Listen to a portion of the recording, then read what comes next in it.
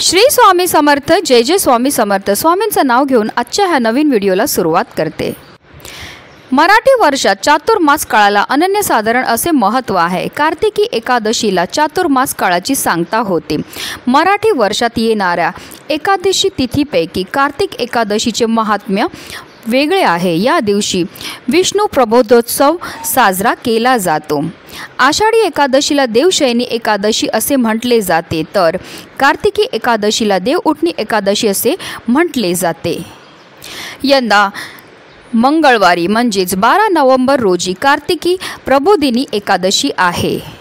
आषाढी एकादशीला जशी पंढरपूरची वारी केली जाते तसेच हजारो वारकरी कार्तिकी एकादशीलाही पंढरपूरची वारी करून विठ्ठलाचे दर्शन घेतात. कार्तिकी शुद्ध एकादशीला. श्रीहरी विष्णू आपल्या योग निद्रेतून जागे होतात म्हणून तिला प्रबोधिनी बोधिनी देवस्थानी एकादशी असे म्हटले जाते. आणि या दिवसापासून श्रीहरी विष्णू या संपूर्ण विश्वाची जबाबदारी पुन्हा स्वीकारतात. या दिवसापासून शुभ कार्याला सुरुवात ही केली जाते. जसं की लग्न मुंडन संस्कार घरप्रवेश यासारखे शुभ कार्यही केली जातात. देवउठणे एकादशीच्या दिवशी श्रीहरी विष्णू देवी लक्ष्मीची पूजा केल्याने जीवनात सुख समृद्धी आणि आनंद येतो. तेरा नोव्हेंबर रोजी चातुर्मास समाप्त होत असून या दिवसापासून तुळशी विवाहाला प्रारंभ होईल. कार्तिक शुद्ध द्वादशीपासून पौर्णिमेपर्यंत कोणत्याही एक दिवशी तुळशीचा श्रीकृष्णाचा विवाह लावण्याची पद्धत आहे. तुळशी विवाह केल्याने कन्यादानाचे पुण्य मिळते अशी मान्यता आहे. एकादशी तिथी अकरा नोव्हेंबर रोजी संध्याकाळी सहा वाजून सेहेचाळीस मिनिटांनी प्रारंभ होईल. तर ती दुसऱ्या दिवशी म्हणजेच बारा नोव्हेंबर रोजी संध्याकाळी चार वाजून चार मिनिटाने समाप्त होईल. म्हणून आपल्याला बारा नोव्हेंबर रोजी देवउठणी एकादशीचं व्रत हे पाळायचं आहे तसेच ह्या व्रताचं पारण जे आहे ते तेरा नोव्हेंबर रोजी सकाळी सहा वाजून बेचाळीस मिनिटापासून आठ वाजून एकावन्न मिनिटापर्यंत असणार आहे आणि या वेळेमध्येच आपल्याला व्रताचं पारण हे करायचं आहे. देवउठणे एकादशीच्या दिवशी सर्वार्थ सिद्ध योग आणि रवियोग यांचा शुभ संयोग होत आहे. ज्योतिषशास्त्रात हे दोन्ही योग अत्यंत शुभ आणि लाभदायक मानले जातात आणि या योगामध्ये जर आपण पूजा केली सेवा केली त्याचबरोबर काही उपाय केले तर त्याचे आपल्याला अनन्यपटीने पुण्यफळ हे प्राप्त होत असतं.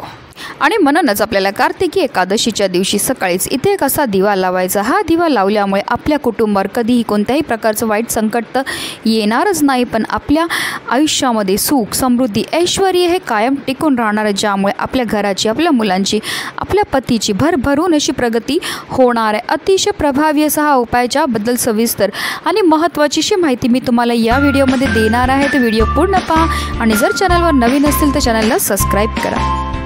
कार्तिकी एकादशीच्या दिवशी सकाळी आपल्याला ब्रह्ममुहूर्तावर उठायचं आणि अंतरुणामध्ये सर्वप्रथम आपल्याला ओम नमो भगवते वासुदेवाय. या प्रभावी मंत्राचा अकरा वेळा जप करायचा आणि दिवसाची सुरुवातही करायची. त्यानंतर आपल्याला आंघोळ करायचे स्वच्छ वस्त्र हे परिधान करायचे. जर तुम्हाला शक्य असेल तर लाल किंवा पिवळ्या रंगाचे वस्त्र परिधान करा आणि त्यानंतर सर्वप्रथम आपल्याला देवघरामध्ये दिवा हा प्रज्वलित करून घ्यायचा आहे. कारण कोणतीही सेवा किंवा कोणताही उपाय जो आहे तो आपल्याला अग्नीच्या साक्षीने करायचा त्यानंतर आपल्याला सूर्य सूर्यदेवाला जलसुद्धा अर्पण करायचं जल अर्पण करताना ओम आदित्याय नम ओम सूर्य देवाय नम. या मंत्राचा जप करून जल हे अर्पण करायचे. त्यानंतर आपल्याला विधिवत श्री हरी विष्णू माता लक्ष्मी आणि तुळशीची सुद्धा पूजा ही करायची आहे.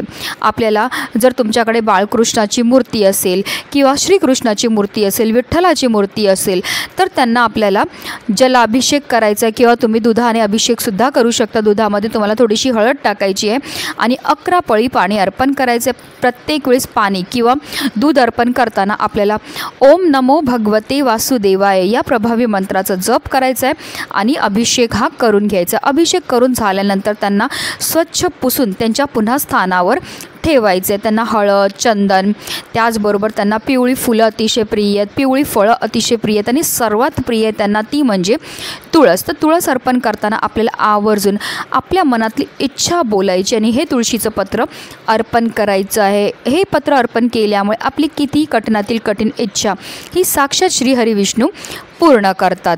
त्याचबरोबर आपल्याला माता लक्ष्मीची सुद्धा विधिवत पूजाही करून घ्यायची. त्यांना सुद्धा हळद कुंकू अक्षदा धूपदीप अगरबत्ती दाखवून घ्यायची आहेत. त्यांना लाल फुलं अर्पण करून घ्यायची आहेत. खिरीचं नैवेद्य अर्पण करून घ्यायचं आहे.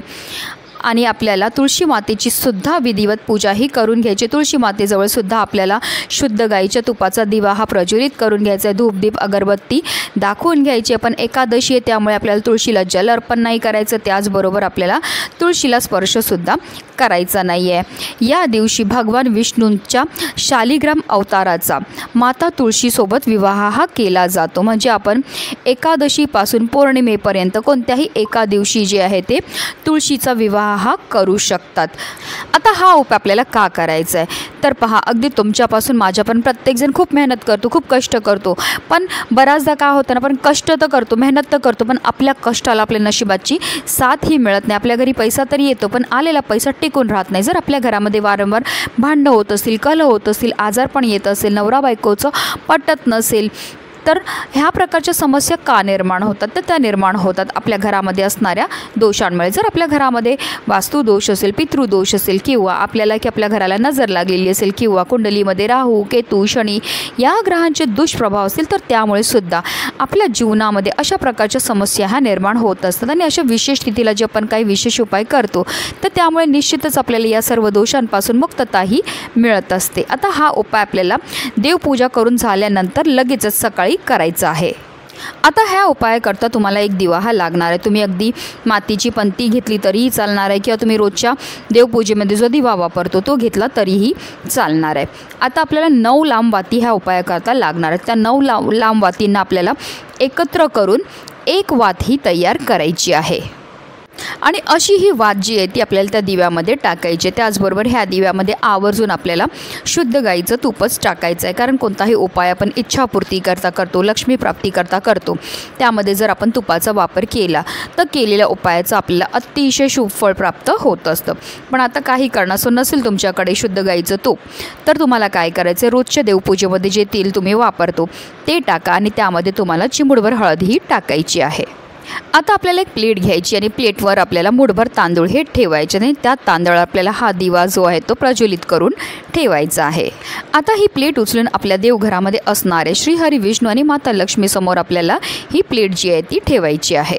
त्यानंतर ह्या दिव्याला आपल्याला हळद कुंकू अक्षदा अर्पण करून घ्यायचे एक फूल अर्पण करून घ्यायचं आणि देवघरामध्येच आपल्याला आसन घेऊन बसायचं आहे आणि काही सेवा ह्या करायच्या आहेत.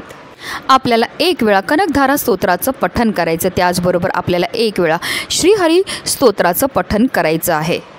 त्याचबरोबर आपल्याला एक वेळा विष्णू सहस्त्रनामाचं पठणसुद्धा करायचं आता तुम्हाला विष्णू सहस्त्रनामाचं पठण करणं शक्य नसेल तर यूट्यूबला लावून द्या. तुम्ही श्रवण केलं तरीही चालणार आहे.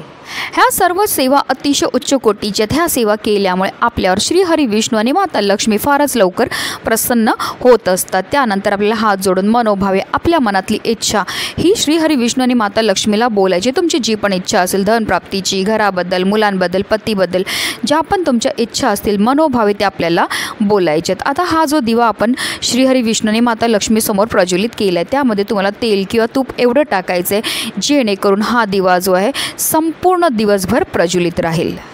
आता दुसऱ्या दिवशी आपल्याला काय करायचं आहे ह्या दिव्याखाली जे धान्य आहे ते आपल्याला एखाद्या झाडाखाली नेऊन ठेवायचं जेणेकरून तिथे असणारे पशुपक्षी कीटक ते धान्य खातील. त्याचबरोबर ह्या दिव्यामध्ये जी वात आहे ती आपल्याला निर्माल्यामध्ये टाकून द्यायची आहे. अशा रीतीने आपल्याला हा उपाय जो आहे तो एकादशीच्या दिवशी करायचा आहे अतिशय प्रभावी असा हा उपाय हा उपाय केल्यामुळे आपल्या कुटुंबावर कधीही कोणत्याही प्रकारचं वाईट संकट तर येतच नाही पण आपल्या घराची आपल्या मुलांची आपल्या पतीची भरभरून अशी प्रगती होणार आहे. म्हणूनच व्हिडिओ जास्तीत जास्त लोकांपर्यंत शेअर करा जेणेकरून करून प्रत्येकाच्या आयुष्याचं कल्याण हो हीच मनामध्ये इच्छा. श्री स्वामी समर्थ जय जय स्वामी समर्थ.